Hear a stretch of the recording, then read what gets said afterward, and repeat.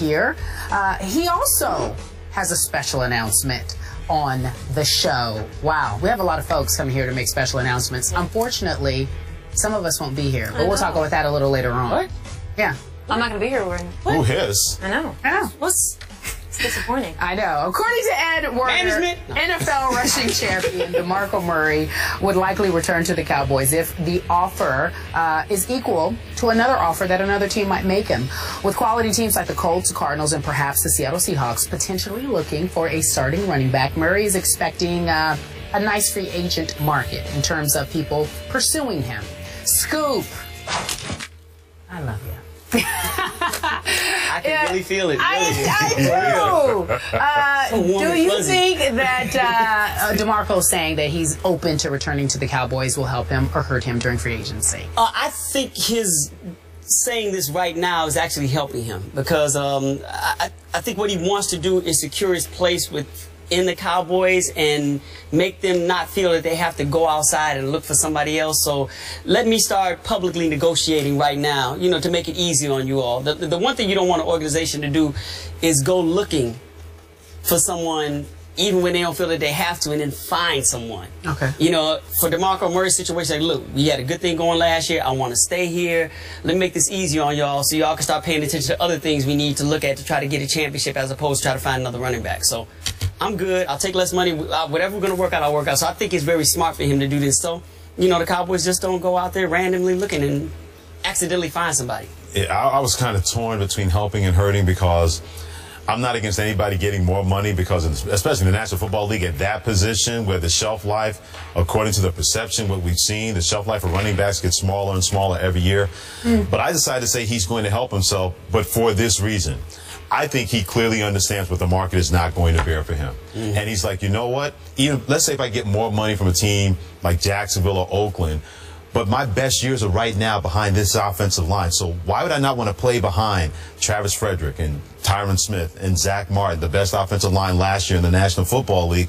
And whatever financial opportunities are going to be there for me off the field are going to be a lot better for me with the Dallas Cowboys, despite the kind of money that, I'm, that I could have gotten else, elsewhere and gotten more money elsewhere. So I think he's completely helping himself from the standpoint of his career is going to be a lot better playing behind that offensive line with Tony Romo and Dez Bryant at wide receiver and quarterback, uh, quarterback and wide receiver respectively. And whatever finances he's going to get outside of the field, it's a lot better to do that winning with the Dallas Cowboys, potentially winning, than trying to do that, let's say, with Jacksonville, Arizona Cardinals, or somebody else. I think he's helping. Yeah, I think this has always been about for him just seeing what the market might bear for him or being wanted, right? Mm-hmm. I think in a lot of ways it's like taking these calls, seeing what other teams might pay him, but always in the back of his mind knowing that the Dallas Cowboys were absolutely the best place. So now this report comes out where you don't think that he's just going to sign somewhere else and be gone. And I think with the Cowboys hearing that, maybe they say, all right, we were going to offer four years, you know, 20 million. Mm-hmm. All right, you know, let's let's offer him just a little bit. Let's get this done, right? Right. This guy is showing us some good faith. Exactly. He's making it clear he wants to be a cowboy. So let's get it done. Let's stop with all this. Let's get it done. Let's bring him back. Let's give him a little bit more than maybe we wanted if he had really, you know, put them to the like twisted Yeah. them around. He's not doing that. And the, and the Cowboys aren't doing stretch anything to him because Right. you're not going to find a better running back in free agency. I mean, Right. C.J. Spiller could not. I mean, nothing No, against him. no, he can't no. have that success. Mark Ingram would not have that success. DeMarco Murray is a difference maker. That when he gets to the second level, all of a sudden a potential five yard gain. The game becomes a 25, 30, 35 yard game. You can't. C.J. Spiller can do that, but it's more on the on the perimeter, more on the outside. Instead of busting between the tackles, getting past that linebacker, now the state is like, oh lord, here he comes again. But there's something to be said about stability too when you're trying to win a championship. Keep as much of the core intact as possible. So from Dallas' standpoint and from DeMarco's standpoint, look, look, this is working. We've seen it progress from last year to the year. It's getting there. Now we're in the conversation to possibly win a championship. Let's not break this up. We don't have to. And I think from both standpoints, it works out because here's the deal. Even if they sign it, it- how they structure a contract could be different. But let's say they give him a four-year deal, you know, where he gets so much guaranteed up front, but he could actually begin to opt out after 2 mm-hmm. How much more valuable would he be if he wins a ring? Oh boy. You know what I'm saying? So he Oh, take that, that, that. So from his standpoint, also look, if I get a ring on this finger, my value, boom. Goes up because every team at a certain point is going to look for a running back to solidify their offense that already has a ring if they're trying to get a ring. So And, his, and not just on the market, but his, I mean, not just on the contract market, but his value goes through the roof in terms of within Dallas. yeah, mm-hmm. exactly, exactly. What he's going to be able to get done there, what Yeah. he's going to be able to do on the national level, like all of that may supplement what he might that he might have gotten two million more over the life of a contract from like a Jacksonville or something like that. Dallas knows this model works. Yeah, It worked in the 90s. Yeah. Mm-hmm. Emmitt Smith, Yeah. Mm-hmm. Troy Aikman, Yes. Michael Irvin, big offensive line. Yep. It's like somebody said, Yep. let's stop trying to make Tony Romo what he's not. Nothing against him because we saw the kind of season he had last year. But a big part of that was the fact that DeMarco Murray had over 1,800 yards rushing. If DeMarco really Murray did not have that kind of season, the Cowboys don't get into the playoffs because Tony Romo, especially now, he is not at that age where you can say, God, then throw the ball around the park 40, 50 times and we're going to win. Once in a while, yes, but not how they tried to do it, and it didn't work all those years. And I'm pretty sure he was telling management, please don't let him go. Please Right. don't let him I'm pretty Yeah. sure he's- Romo was like, yeah, like, no, he's in. Jerry Jones' Yeah, ear saying, exactly. "Uh, bring back Exactly. Dez, bring, back DeMarco. Bring these guys back, yep.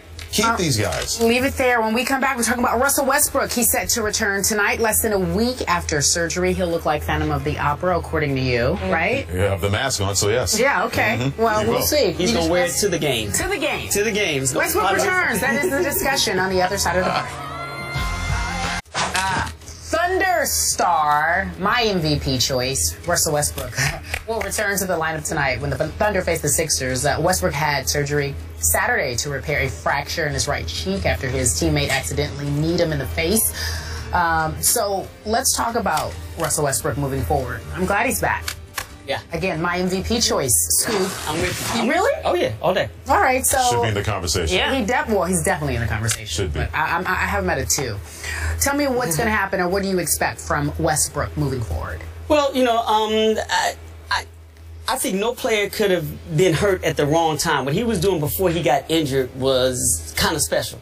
I think he had a month of February that was almost equivalent to what Kevin Durant had in January last year, where he solidified in my mind. You know, I don't want to be prisoner of the moment, but I, he solidified in my mind. Okay, this guy has and should be the MVP.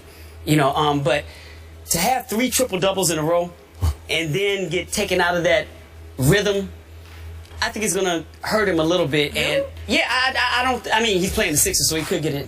Hell, one of us could get a triple double against the Sixers tonight.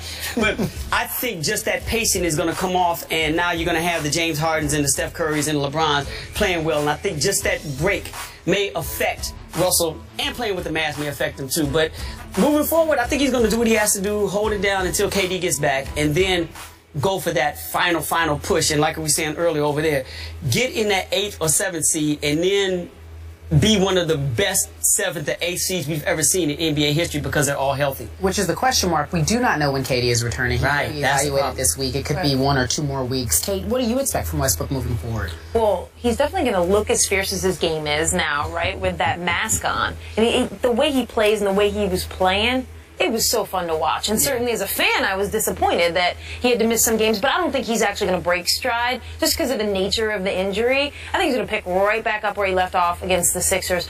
But I'm more interested in, right, whether the Oklahoma City Thunder can continue gaining momentum as they before they get KD back and as they're heading into the playoffs. You know, the question had been even last week, like, is this a lost season for them? Right after this injury to Russell Westbrook, now we see he's coming back. It's prob it's not going to be a very significant injury. They were nine and three in the month of February, best record in the Western Conference. So can Russell Westbrook put this team on his shoulders again for the next few weeks? Keep everything moving forward before they can get KD back. You know, can they build that momentum still? Because I think that's a key part of it for them. Yeah, I is agree. being Yeah. able to get Russell back, build some continuity with the roster, and they made some trades, and then get KD back, and they got to keep. They can't just have these guys coming in in the last week. And expect to do something in the playoffs. I know they look good on paper and they're playing well, but they got to get KD back. They got to get everybody on the same page before they head into the playoffs. It's funny because I was thinking about this the other day. They've had so many stop, start, stop, start, Yes. stop, Right. start, stop, Right. start. Yes, that's very But yet they've always been able to keep going and No go what. forward. Other people have been able to step up. And I give a lot of credit to this organization. Sam Presti has done a great job, not just not standing still, but okay, what can we do to fortify where we don't have to have to rely on these guys so much. We're going to need these guys. We know that we hope they're going to be healthy. So what does he do? He gets an Enes Kanter where all of a sudden now, KD, you're going to be our perimeter guy. Russell Westbrook we're going to make it easy for you. You have your foray into the lane. We got a big body that will attack the boards. We can throw the ball to him on the post. Hey, Serge Ibaka, now you can be that free safety and roam on the inside and protect the rim along Enes Kanter who can do the same thing. This has been, been so much of their normal. It's because, oh, Russell's out. When is he coming back? All right, fine. KD, he's out. When is he going uh, evaluation? Fine. It's like whatever we need to do, whoever we put out there, we know we're going to bring it. And then when we get into the playoffs, when everybody's healthy, you don't want to see us in the playoffs, whether Right. we're a seventh or an eighth Exactly. seed. So because of that whole stop-start thing that they've gotten so used to, it would bother another team. But we've seen this from the from the Oklahoma City Thunder last two three years because Westbrook and Kevin Durant have had to deal with injuries, and this team has had to try to manufacture themselves again. And they still got to the Western Conference Finals last year in a stop-start mode. That's why I have enough faith that they'll probably, if it wouldn't surprise me if they continue and get the Western Conference. But Conference. then we're again. assuming, of course, that when the playoffs hit, there's no more stop Oh, start. there's plenty of assumptions. No, of course. Yeah. But I, like the way this season has been going for them, I'm not even sure you're going to see like throughout the playoffs that they're not going to run into something else. That something else is not going to. Can I? I'm No, sorry. no, wait, no, can no, no, throw go something away out from there? Do you think in the Russell Westbrook conversation that you and I think he's the MVP? Do you think he will personally try to go for that for the rest of the season?